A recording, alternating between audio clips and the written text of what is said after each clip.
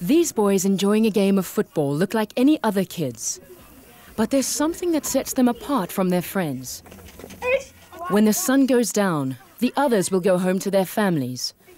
But the three brothers will be left alone in their shack. No parents to feed them or put them to bed. They will have to fend for themselves until morning. I'm standing on a bridge overlooking Hartbeespoort Dam and some of the most prime real estate in South Africa. In fact, many of the mansions behind me are used as second homes or weekend getaways.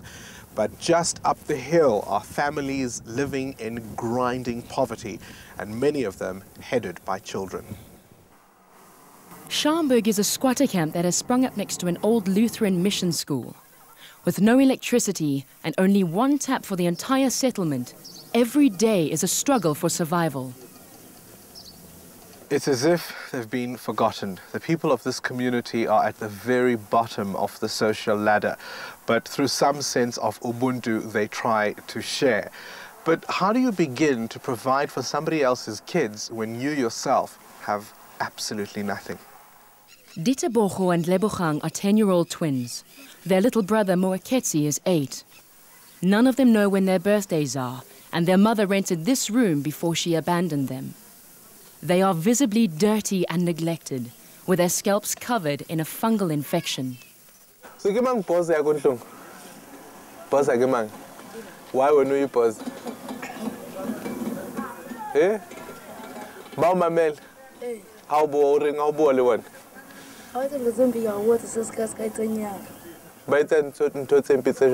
se ka etsang yana Ba etsa ntho ntho tse mpe tse jwang? ba tshamekile mo ntlong ka go botsa se ka tshameka mo ntlong ke ba tshameka ko ntle Go etsagetse eng wa le na le le le two fela? ga o se ntse ntse a lwala fa mama ga ba mo tsamaisa a mo isa ko petersburg a mo isa ko petersburg a batla go palela ko teng ano ga ke itse o kry-e tšhelete wa tlapa ke itse o kry-e ba kry-e Dita Bogo is epileptic, so the role of the parent has been taken on by Lebogang. He is clearly in charge, making sure his brothers make the bed, tidy the room, and have something to eat. Today is Sunday, and he's preparing to cook a packet of chicken necks. This is one of the worst scenarios that we have. That these are little boys that needs to be looked after, and they have to look after themselves. Bernice Maponyane is a manager of the Parent and Child Counseling Center. If it wasn't for this organization, the plight of these boys would have gone completely unnoticed. How long have these kids been on their own? Since the beginning of this year, And their mother never made any plans to. not at all, no contact, nothing. And their father? Father's whereabouts is unknown. It's unknown to us. It's unknown to the children. The Hartbeespoort branch is run by the Johannesburg Parent and Child Counseling Center. Since 1944, they have provided therapy and support to children and their families. The director is Jackie Michael. For many years, I think people thought that if families weren't working, they should remove the children. And our services have always been on keeping the families together. Because removing children and putting them into institutions is really not an answer. But with over 2 million AIDS orphans in South Africa, they have had to come up with other solutions. We help them to deal with the grieving because, of course, that is a huge problem. Many of them have nursed their dying parents. Many of them have not dealt at all with the emotional effect of losing their parents and then having to bring up their younger siblings. So, our aim is to connect them with other adults in the community or to try to support them in living on their own. This container houses the offices of the Parent and Child Counseling Center. There's one social worker here who services the needs of hundreds of people in this community. The dream is to establish a creche using containers just like this. The resident social worker at Hartbeespoort is Helen Matlase. She counsels children at six schools in the area and often visits them at home to assess their situation. Six year old Sina lost both parents to AIDS this year, and she now lives with her aunt and cousins. So, Sina, Kimango. Mama. Kimama.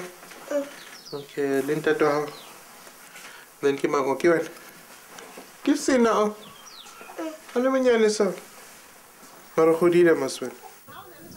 Although she has been kept within the family, Sina isn't receiving the best care. Her aunt is mentally handicapped, and all seven of them survive on her disability grant. From what we can see, most of it is spent on alcohol. They live on a farm 17 kilometers away from Schaumburg School, and when there's no money for transport, Sina has to walk. Edith Nkabinde is her grade one teacher. How has she been coping with this situation? Ah, it's a mess in the classroom. It's a mess. She cannot cope in the classroom. We are still struggling with the letter S, Sina, when writing her name. This is August. Still struggling with the name, let alone the rest. Helen does play therapy with Sina twice a week to help her come to terms with her loss. I remember when the first time I saw Sina, she was like, couldn't see smile or anything. She would talk with the dolls and with the toys, and you can't see smile. But after some few sessions, I, see, I saw smile on her face and usually come here during break and talk to me. Most of the children attending Frikkie Smith Primary School are orphans. In many cases, the cup of soup and slice of bread they get at break time is the only meal they get the whole day. Some of the children, like Moeketsi and his brothers, live at Schaumburg camp, while others, like 13 year old Ntabiseng and her 10 year old sister Laratu, live on the surrounding farms. Orphans living in farming communities have an added stress. For many of these children, the cottages they live in are the only homes they've ever known. And when their parents, who are the farm workers, die, they're left in a state of limbo with no guarantee they'll be allowed to stay there. After school, the sisters go home to nothing and no one. Since their parents died earlier this year, it's just the two of them living here. And at night, they get nervous because the back window is broken. What is the most difficult part of living here alone? Sometimes we don't have food, so we just sleep without eating. How do you cope when those situations happen?